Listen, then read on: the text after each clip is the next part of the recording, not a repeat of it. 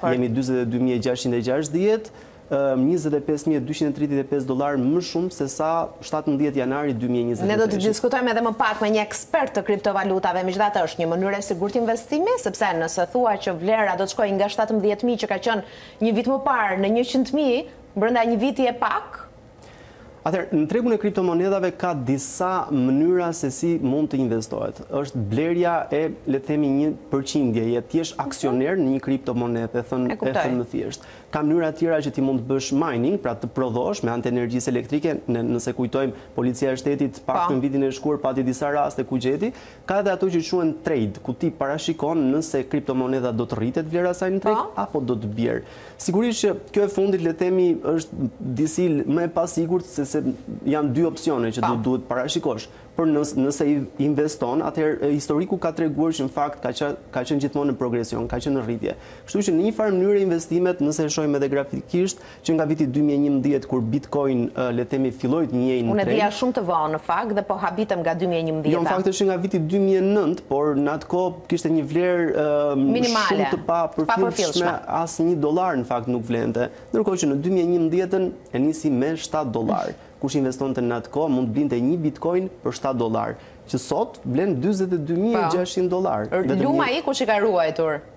Po, kanë qenë të shumë portofolet e atyre që janë ruajtur, nëse shohim te coin market, le themi që është një um, treg uh, analitik uh, në internet, ne aty do të shohim mhm. që disa portofola janë shumë të vjetra.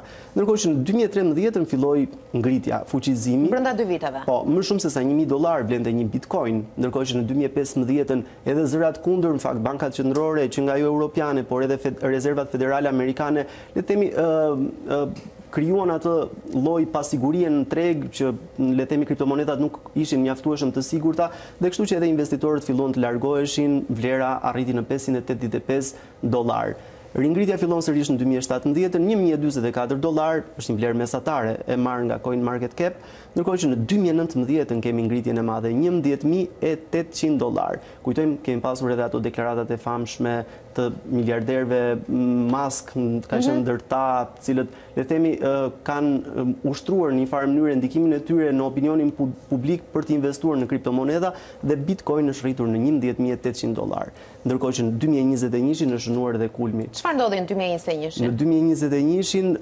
sigurisht pas periudhës së pandemisë kur le të themi normat e interesit arritën një le të themi nivelin më të ulët, ne në Shqipëri e kemi pasur zero pikë pesë pikë përqindje, ndërkohë që në Shtetet e Bashkuara të Amerikës po ashtu njerëzit filluan edhe të investonin, ishte ndoshta investimi më i sigurt për momentin, ishte një aset digital i cili nuk kërcënohej nga asnjë lloj, le të themi, zhvillimit i brendshëm ose jashtëm, kështu që vlera ka rritur në gati 67.000 dollarë për një bitcoin, 66.953 dollarë, ndërkohë që siç e shohim për ditën e sotme kemi 22.660 dollarë vlerën e bitcoin. Jo keq,